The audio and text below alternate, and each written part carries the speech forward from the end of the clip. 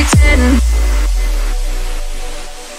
What does perfect even mean? Is there even such a thing? Oh, can we switch up all the rules and imagine a utopia?